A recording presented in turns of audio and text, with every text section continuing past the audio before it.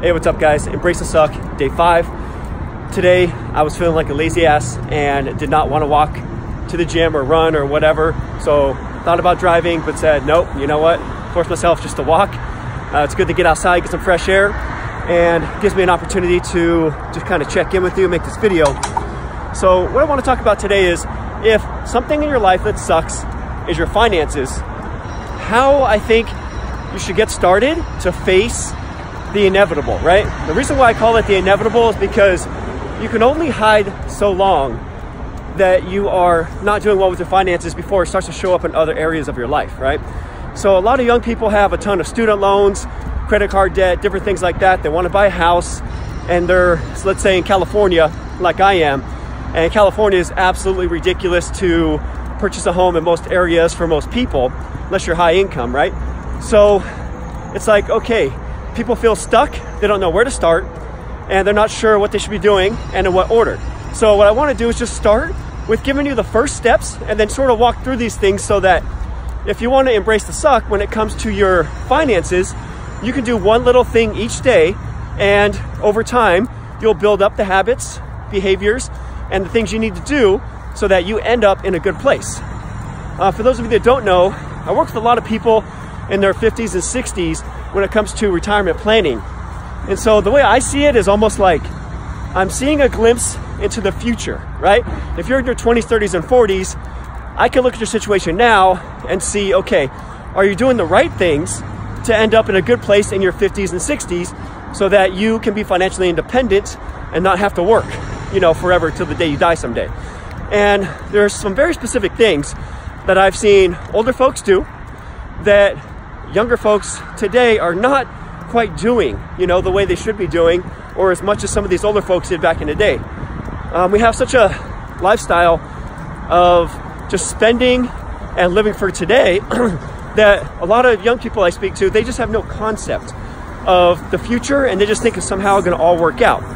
And sometimes that's the case, but you know, sometimes you have wealthy parents who are going to give you some money, but many times that's not the case and if you don't fix it for yourself, then no one else is going to fix it for you. Okay.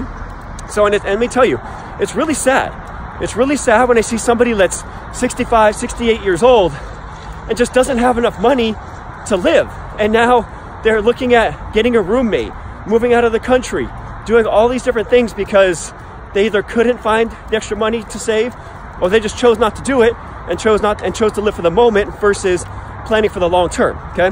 So the first step, and this is what I talked about yesterday when I did my live training for my retiree group, is you want to get a realistic understanding of what you're actually spending. Like if you're saving a bunch of money right now and you're doing a good job with this, it's probably not as important to you. But if you're struggling to save, if you're struggling to get ahead, if you don't have at least three to six months worth of your uh, what you need to survive on, so what you need to spend to live, of your expenses, if you don't have that saved up and put to the side, then this is definitely something you want to do, okay? First thing I would say is get hooked up to some sort of expense tracking software. So you can use mint.com or something like that. There's another one called You Need a Budget. That one's pretty good. I think it costs 30 bucks a year for that, but a lot of people like it. Just something to where your expenses are being tracked, okay? And I think even some bank accounts have this. So you want to get hooked up online somewhere there. And then once you hook that up, don't look at the results yet. Sit down grab a piece of paper, just a yellow pad, nothing fancy, and write down what you think all of your expenses are monthly. Include your rent, your mortgage, whatever it is, whatever you think you spend on food, whatever you think you spend on all your bills. And then once you get all that listed out and total it up, then compare what is, is uh, being spent in Mint, right? Because Mint's gonna go to your checking account, so that should, unless you use all cash, that should honestly uh, give you a realistic idea of what you're spending every single month, and then compare that to what you wrote down.